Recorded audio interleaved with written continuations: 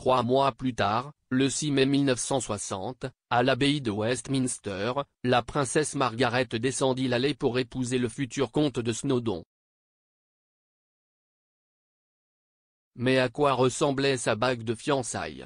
Jessica Flynn Allen, PDG et fondatrice de Jessica Flynn, spécialiste des bagues de mariage et de fiançailles, s'est adressée exclusivement à Express. UK pour s'expliquer. Elle a déclaré, Anthony Armstrong Jones a proposé à la princesse Margaret avec sa bague de fiançailles au château de Windsor en 1960. Le design a été créé pour ressembler à un bouton de rose en l'honneur du deuxième prénom de Margaret, qui est Rose. La bague de fiançailles de la princesse Margaret contenait trois rubis de taille ovale, semblant représenter environ 5 à 6 carats au total.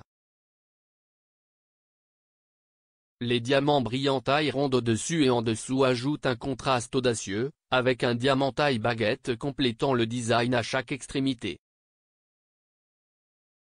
Il est évalué entre 90 000 et 120 000 livres environ. Ruth Burnell, responsable des achats de bijoux et de diamants chez Berry Joulet, a également parlé en exclusivité à Express. UK de la bague de Margaret.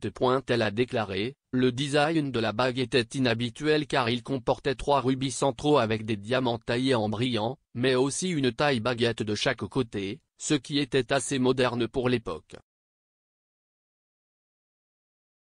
La princesse Margaret, semble-t-il, a également lancé une tendance au sein de la famille royale pour les pierres de couleur utilisées pour la bague de fiançailles, suivie de Sarah Ferguson ayant également un rubis, puis de la princesse Diana avec un saphir, et plus récemment, de la princesse Eugénie avec un pas de paracha.